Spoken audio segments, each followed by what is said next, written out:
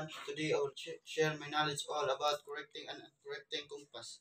Always remember TVMDC. T, T stands for true course, D for variation, M for magnetic north, D for deviation, C for compass north. So our true course is 130 degree while variation is 10 degree westerly and our deviation is 5 degree westerly so our true, true course is 130 degree.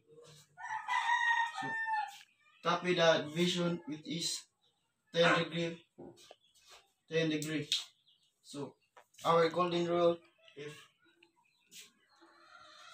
if if we- west we must add and east we will subtract. So 130 130 degree plus 10 degree is equal to 140 degree. So deviation is 5 degree.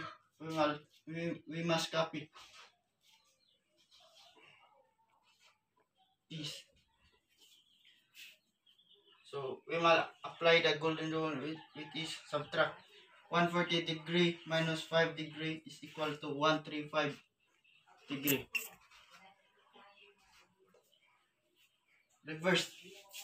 So the compass north is the first and the true course at the last. So the our compass north is 135 degree. So our deviation is 5 degree. Is east. So it it it now reverse. So west we must subtract and the we will add. So it is now east we must add the the compass north and deviation 135 degree plus 5 degree east is equal to 140 degree. So next is vi- vi- vibration is equal to 10 degree west. So apply the golden rule. It is subtract 140 degree subtract 10 degree is west is equal to 130 degree. So to get the compass error,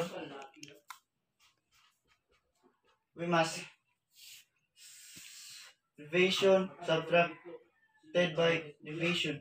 So so the division is 10 degree westerly and deviation is 5 degree westerly.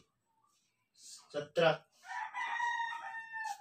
is equal to 5 degree. If the big who is the bigger number, copy the copy the east west which is 5 degree is our compass error is 5 degree west. So that's all. Thank you and God bless.